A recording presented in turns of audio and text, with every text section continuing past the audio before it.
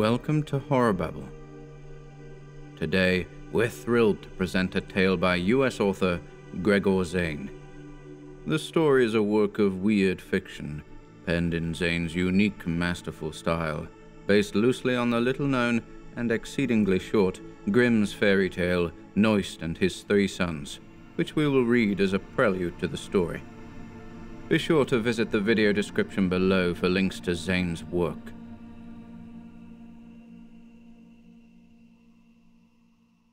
Knoist and his three sons. Between Vale and Zoist there lived a man whose name was Knoist, and he had three sons. One was blind, the other lame, and the third stark naked. Once they were walking across a field, where they saw a hare. The blind one shot it, the lame one caught it, and the naked one put it in his pocket. Then they came to a tremendously large body of water, on which there were three ships. One leaked, one sank, the third had no bottom in it. All three got into the one with no bottom. Then they came to a tremendously large forest, in which there was a tremendously large tree. In the tree was a tremendously large chapel. In the chapel was a sexton of hornbeam wood, and a parson of boxwood, who were passing out holy water with cudgels. Blessed is he who from this holy water can flee. I will tell you about Knoist by Gregor Xane. We didn't believe in fairies until the morning we all awoke to find their corpses scattered everywhere. But the story of their lives and their relationship to ours became known within days. Our kings had waged a secret war with the creatures for centuries. However, it was a low ranking adviser to the crown who ultimately discovered their weakness and took decisive action. Very little is known of our kingdom's hero. Even his name has been lost to history. But his detailed personal journals revealed that he was methodical, deliberately slow in his preparations. But what exactly he prepared, no one knows. Of course, the basic ingredients were discovered. Every merchant listed in his ledger was mercilessly interrogated, but how they were combined was forever lost with him on the night he killed them all. Yes, he too died in his tiny laboratory on that very night. The fire used to unleash the fairy play consumed him, his home, and, it is believed, his most cleverly guarded alchemical writings all but a single sewing pattern for a stuffed idol, which resembled the physiology most common amongst the fairies. It was something out of our childhood bedtime stories, where effigies were powerful magic. Some say our saviour, tragically ignorant of his fairy heritage, was a half breed and accidentally committed suicide that night when he threw his inadvertent totem to the flames. That fateful night is now known as the Night of the Black Fog. Eyewitness accounts tell of a great pillar of smoke rising into a darkened sky. All manner of bizarre creature was said to be seen thrashing within its billows. Some tell that it resolved at its apex to form a great five fingered talon that reached up to wipe away the moon and the stars. Ash dropped like a blanket of black wool to cover the entire kingdom, where it was pulled apart in great tufts by tree limbs and chimneys to carpet the land in darkness, to fill in every crack with rough shadow. Then the shrieks and screams began as the black cloud's poison settled into the nooks and crannies where the fairies lived, the crawl spaces, the attics, the hollow trees, and into the vast network of underground dwellings that had mirrored our own, to extinguish a hidden enemy the common man would only come to know after their collective demise. The fairies clawed from their holes in the hundreds of thousands, choking and crying in the night, to be found dead the next morning, covering streets and farms, hanging from trees, and spoiling gardens. Their shapes were strange and varied, as if they weren't of a common race, but a collective of beasts representing a hundred tribes, evolved along different paths in wildly divergent environments, lands isolated from one another, but equally severe. To me, there seems no other way to explain these things. Lizards with freckled flesh as smooth as that of a human child's, fat mustachioed insects with huge frog like mouths set in expressions of perpetual glee, scaly felines with naked monkey faces framed in bony ridges that resembled a lion's mane, worms that terminated in porcine snouts at both ends, feathered stickmen with translucent beaks and wispy vestigial wings, spotted slugs, slimy masses of jumbled eyes and earholes, mouths and nostrils that threatened to burst forth from just beneath the surface of their gelatinous skins, legions of diminutive rodents having enormous moth's wings, their tiny fists clutching toothpick spears and flower petal bows, even in death, squat, six legged humanoids dressed in what appeared to be ceremonial armor of exquisitely detailed and grand design that turned out to be things half scarab, clothed only in their natural chitin. Their seemingly endless variety would one day be catalogued by yet another little thought of man, a man who would rise from obscurity to relieve the kingdom of its carpet of rot. His name was Herbert Knoist. Between Vale and Zoist, Herbert Knoist manned a crematorium, as his father had before him. He'd spent his life traveling from town to town, to battle sites along the kingdom's edge, to collect the dead. And, as is our tradition, he incinerated the remains and scattered them, mixing ash with sand along the beaches of the great ocean that laps against our nation's southernmost shore, an offering to the tides that are said to have birthed our primordial kin so long ago waters once believed capable of raising the dead. Herbert Knoist, a light sleeper who had somehow slept through the chaos of the black fog, followed his usual routine the next morning. He'd had his tea and eggs, and was well rested when he walked from his home to find the dead abominations littered across acres of valueless wasteland that he still thought of as the family farm. Herbert, a man who rarely smiled, displayed all his crooked teeth just then, as he recognized that he was one of few men alive who could wake up prepared to profit amid fields and fields of death and decay.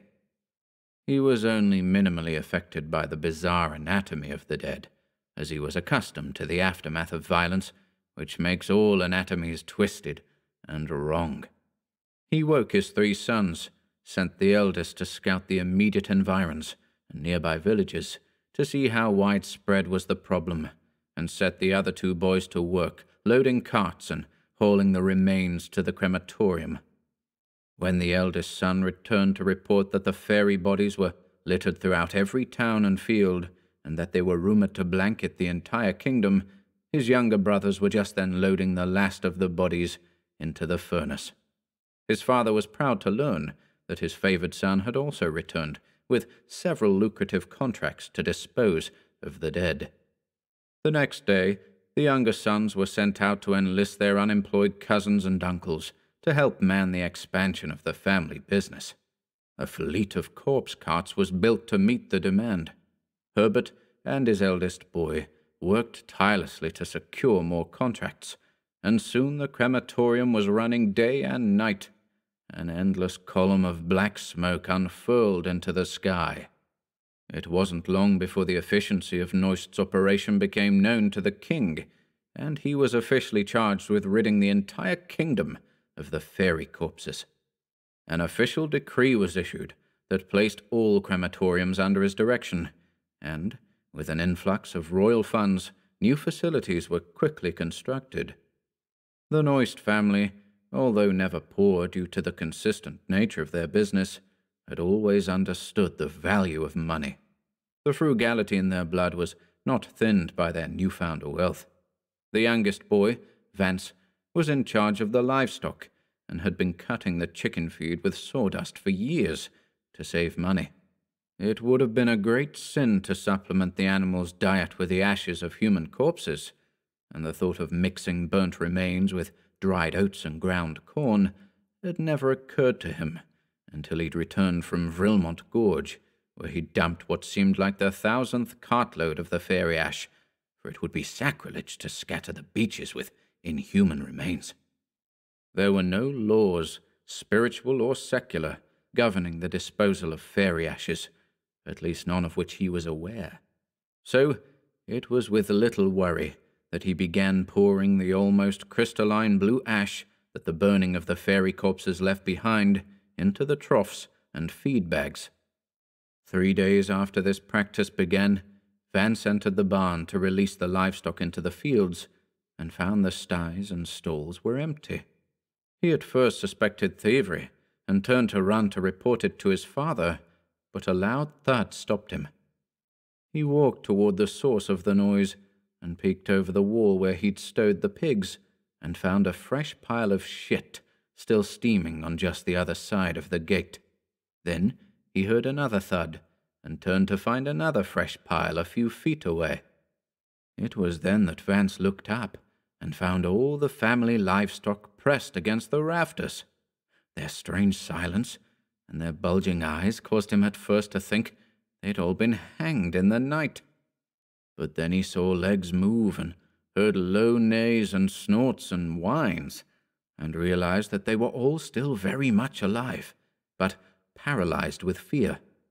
Vance retrieved his father and his brothers and showed them the dark magic at work. His sons were frightened, but Herbert's mind seized on practical matters, and he was soon directing them to fetch ladders and rope. They spent the better part of the morning hauling the animals from the air and tying them to posts and the slats in their stalls to keep them grounded. Their work done, they left the barn and closed the doors behind them but before they could return to their daily tasks, they heard a squeal, almost like the voice of a panicked child, then a crackly thump. They opened the barn doors and found the broken body of a young piglet. They guessed that the poor creature must have been tucked out of sight in a cubby in the rafters, and that when the spell was lifted, it fell to its death. Herbert, never a wasteful sort, would advance to bleed and butcher the pig right away. He then took a tour of the barn and saw that some animals still strained at their tethers, floating an inch or two from the dirt floor, while others had all four hooves on the ground. He searched for hex marks and ciphers spelled out in rat bones, any signs of black magic, but found nothing. Herbert scowled at the beasts as if they were laughing at him, and left the barn to attend to the day that was quickly getting behind him. Three nights later, after finishing a meal of pork and greens and mashed tubers, Herbert excused himself from the table, lost his footing, and fell. He'd not been able to feel the floor beneath his feet. The sensation was startling, and he tipped over his chair. His back never hit the floorboards. His mind locked in anticipation of an impact that never came.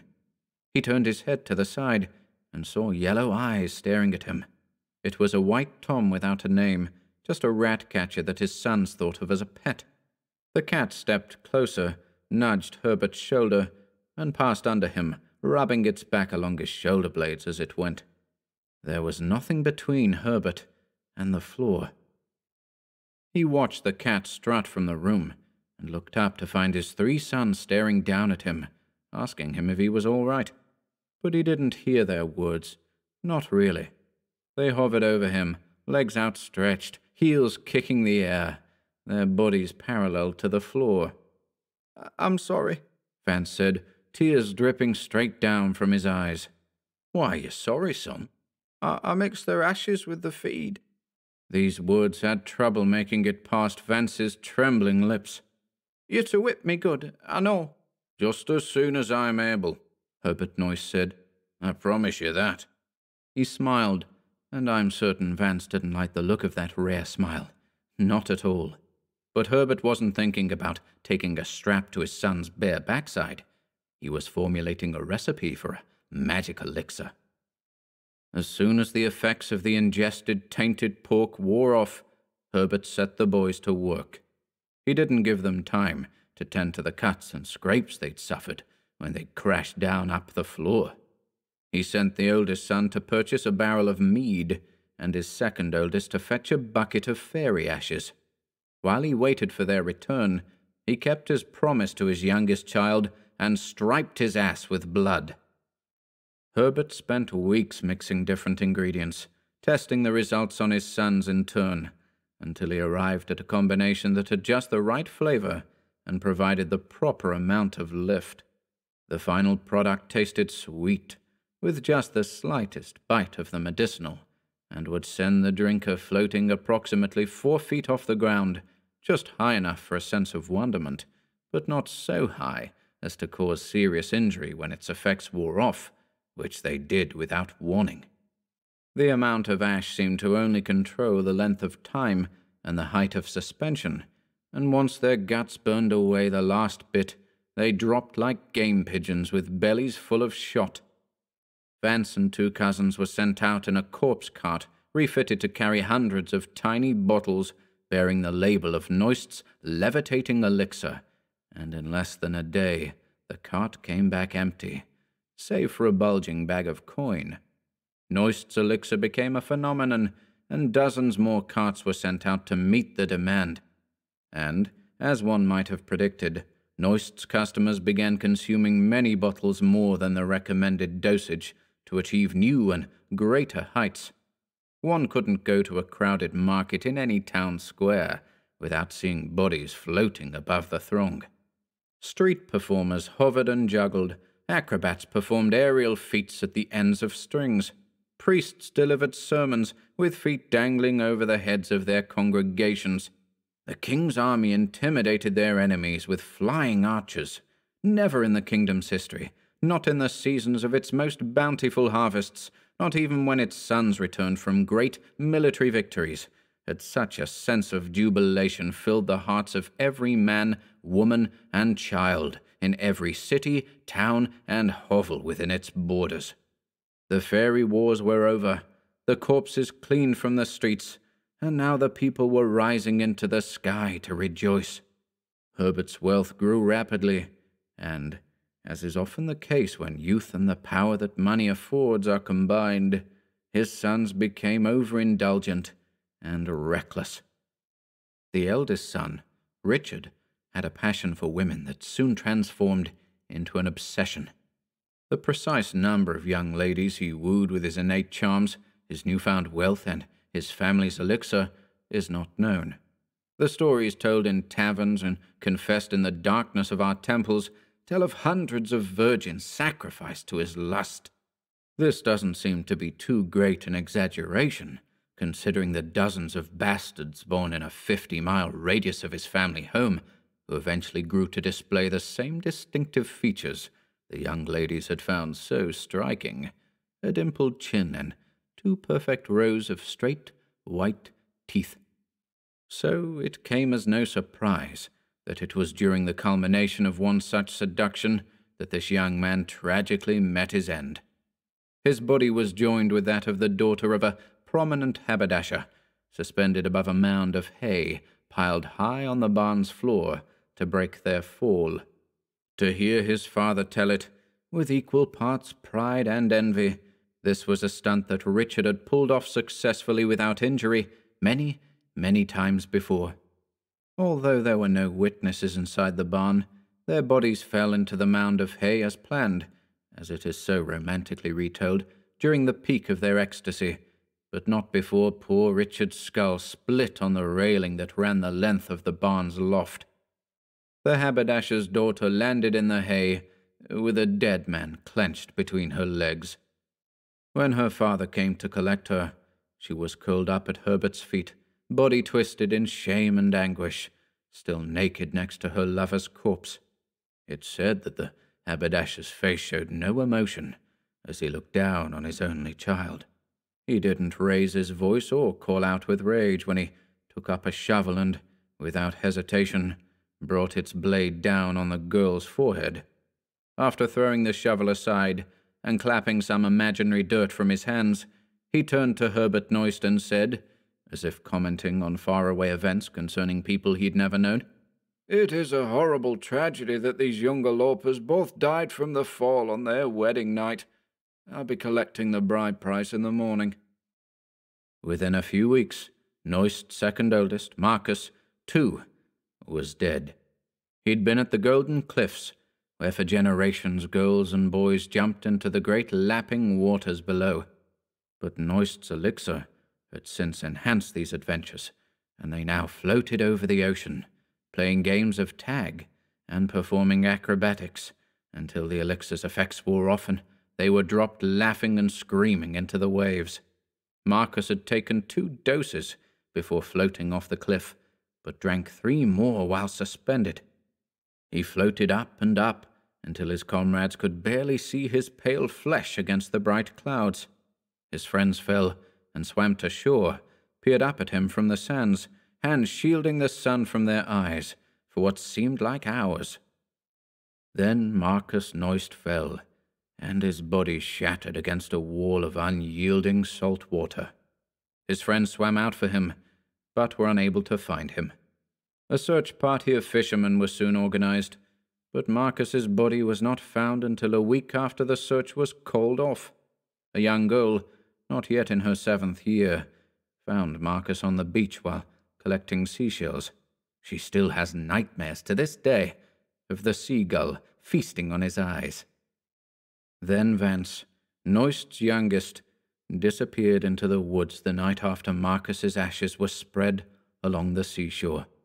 He drank alternating bottles of the elixir and an exceedingly strong brandy, and floated high into the darkened sky over the tree tops. When finally he fell, the trees helped to break his fall, and the pliability of his drunken body protected him from mortal injury, but not from a broken spine.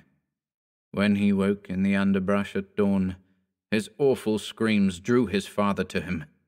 The boy's legs, although devoid of broken bones or even cuts and scrapes, were now useless. And, although newly crippled, he spent the next few weeks accompanying his cousins on their travels from town to town, riding in the back of a cart filled with elixir, exchanging the tiny bottles for coin, offering slurred appreciations everywhere they went. Then, outside a small fishing village at the edge of the kingdom, after his cousins bedded down for the night, Vance made a second attempt at taking his own life. He left fifteen empty bottles of the elixir behind, along with a goodbye note scrawled in a drunken hand. His body was never found. Herbert Knoist told me these stories of how his children died as I attended him in the same blood cough that took his wife so many years ago. I administered the powders to help him sleep, emptied his chamber pot, and kept him filled with fluids, which seemed only to help replenish his supply of tears. He knew, as he lay there dying, that the elixir had brought tragedy to families throughout the kingdom, not just his own. He knew that the prolonged use of his elixir eventually brought on a chronic state of levitation, and that the land became overrun with floating invalids. He knew that sons and daughters were sneaking into their parents' bedrooms in the middle of the night, cutting their tethers, and setting them free through open windows because they could no longer afford to feed them. He knew that his cousins, still managing his crematoriums, had a steady flow of business in burning the fallen. What he did not know, what he couldn't have known, on that autumn evening that smelled of smoke, lime, and roasted meat, when the final cough took him, when his last spoken words were taken from him in a burst of gurgling red, were the tales yet to be told of creatures crawling from the sea on furry insectile legs, of worms with porcine faces at both ends, burrowing through the beaches, of monsters bursting from the waves, borne up with great moth like wings spraying the air, of canine mouths and mandibles stretched wide with ululating songs of rebirth and revenge.